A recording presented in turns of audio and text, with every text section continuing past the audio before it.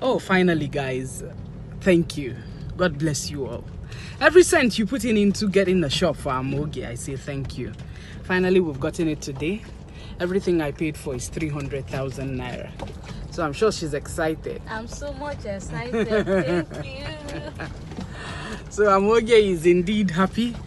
So we're looking for money to put one or two things in the shop. You know, we got to buy some tables, chairs, uh, food stuff, and you know now it's really on the high side. But God's willing. Uh, uh, one thing is sure.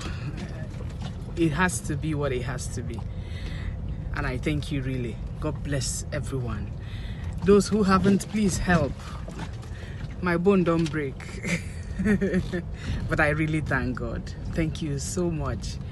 May your pockets never run dry. Amen. May everything you want come to you. Amen.